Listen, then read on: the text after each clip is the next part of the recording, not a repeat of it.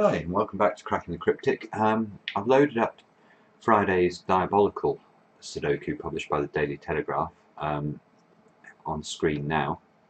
I'm going to try and solve it live, which might be foolhardy.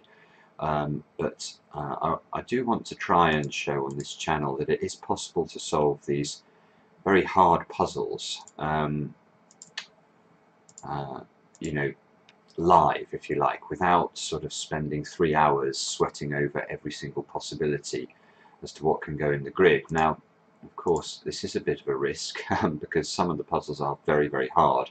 Um, but anyway, let's see how we go.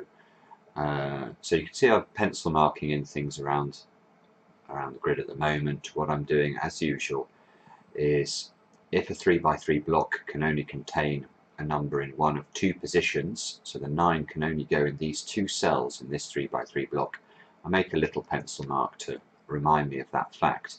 Um, now on diabolical puzzles I'm going to deviate from uh, this rule very slightly in that if I identify cells in the grid, say this cell here, say I found this could only contain the numbers 1 and 3, I will also notate that. Now that can get a bit confusing but I find it helpful on these um, you know these very difficult puzzles um, to have to record that information. So I'm going to do that too uh, and we'll see how far we go.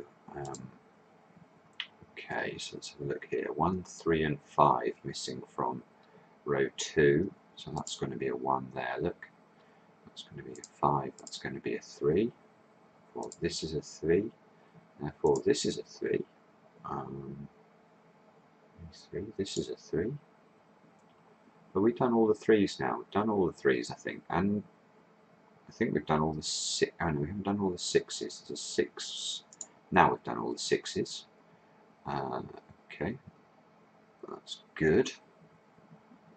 You can see now we we're, we're locked uh, along uh, the middle row of the grid here we're, we're looking for numbers 1, 7 and 9 so um, we can place 1s here. 7s 9s can go in all three. But that means that these two cells here on the outside have to be 4 and 8 um, so that might be useful. 4 and 8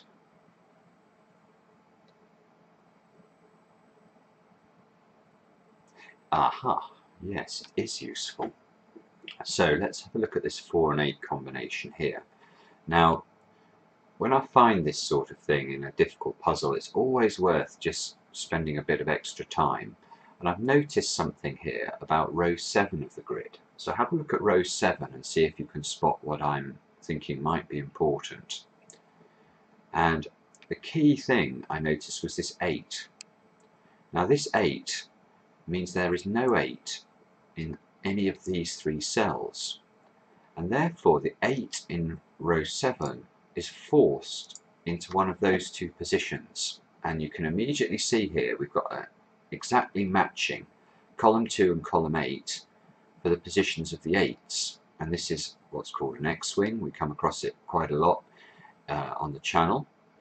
Um, now what does an X-wing mean? Well it means there are two ways that the 8s can be arranged. So for example, let's imagine this was the real 8 in the final solution in row 5. What would that mean? Well it would mean this couldn't be an 8 but this would have to be because there are only two positions an 8 can go in row 7. So we'd have an 8 here and an 8 here. Now there's only one other possibility at the outset and that would be that this was the 8. Now if this was the 8 this would have to be the 8 in row 7. Now either way round, the critical thing is what this does to the remaining open positions in columns 2 and columns 8. In column 2 and column 8 we cannot have any more 8s at all because either this will be an 8 or this will. Same thing over here, either this will be an 8 or this will. So, uh, so let's look at this square in particular. We have to remember over here that we've got a lot of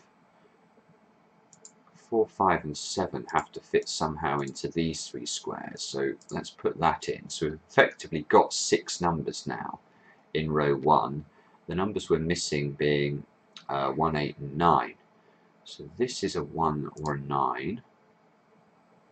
That's 1, 8 or 9. I might just notate that for the moment. And this is 1 or 8, except for our x-wing. Now our x-wing means this cannot be an 8. So this square here has to be a 1. And that means this has to be a 9 and this has to be an 8. Now that might be very helpful. You can immediately see it's going to help us in the middle cell of the grid. That now can't be a 9, so it's going to have to be a 1. Uh, remove that from there like that. Um, 256 along here. Uh, no, not 256. Uh, 125 in fact. So that's going to have to be the one here. And we get a 2-5 pair there.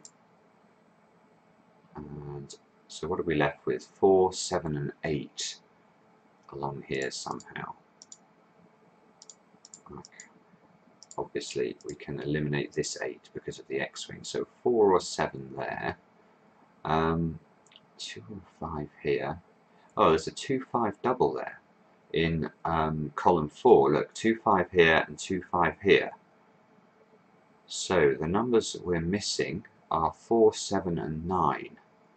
So this is a 4 or a 9, and this is a 4 or a 7. So there's lots of pairs I'm noticing um, in this puzzle already. There's so many cells that have been limited to just two position or just two possibilities in the cell. Um, can put some ones in there by the old pencil mark method. Nines in there, look. Nines in here.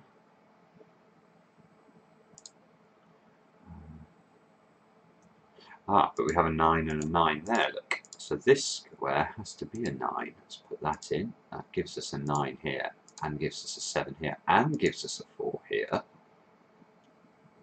So we're left with 2, 5 and 7 to place into these cells. 7, so this is a 2, 5 pair. So there's lots and lots of 2, 5 pairs all around the grid. Um, just going to take a quick look at row 8 now. 2, 4, 5, 7 to place.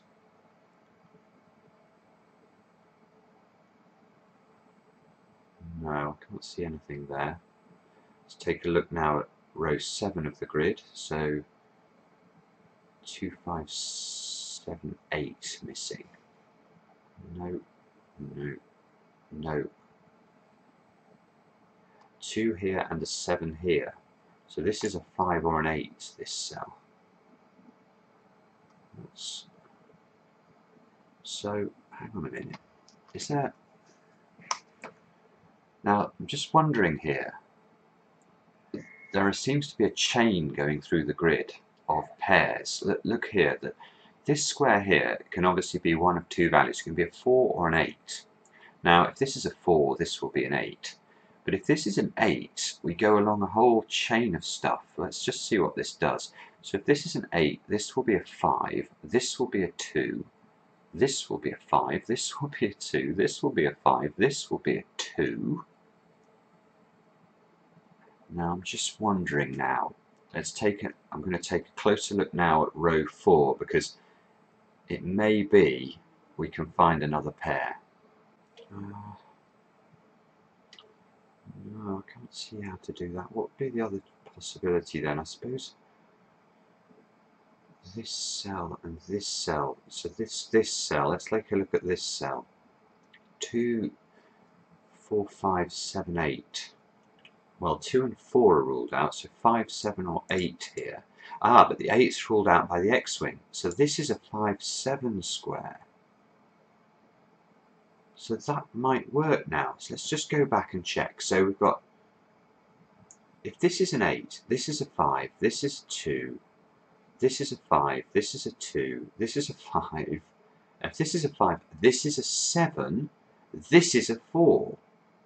So either way round, this cannot be a 4, either because this is a 4, or because this is an 8, and that forces a 4 there. So that's this square here is an 8 and this is a 4 that is lovely. As I don't know how long that chain of pairs is going through the grid but it, it felt quite long.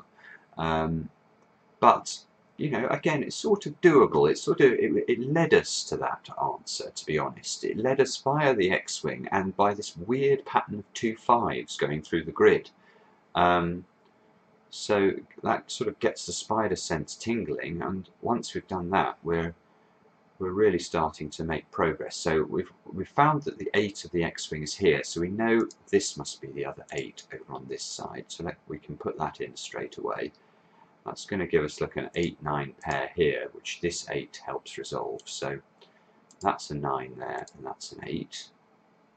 Now this 9 might be useful now. Yeah, we can figure that 9 out. Uh, we're looking for 1, 2 and 7 now over this side. 2, 2, this is a 1, 7. This can no longer be a 4. So 1, 5, 7 down the column a 1 or a 5 and 2, 4, 7 down this side. So ah, in fact this 7 here it forces this to be a 7 it's being slow. That's got to be a 7, 5, 4 like that. This must be 1, 2 which is all looking reasonable isn't it? So this is a 5 now which again that looks correct. 5 in those two positions, find one of these two positions, two, move this five here. We're looking for one, two, and four. You can see immediately we can go like that and put the two and the four in. And two, two or a seven pair, I think. Two, four, seven to these positions. This is a four or a seven.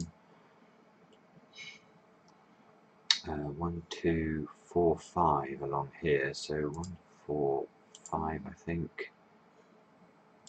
Four, five pair. Ah, oh, hang on. There's um.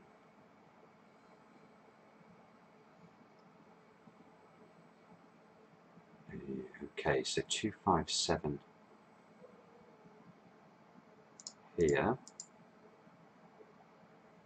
and one, two, five, seven here.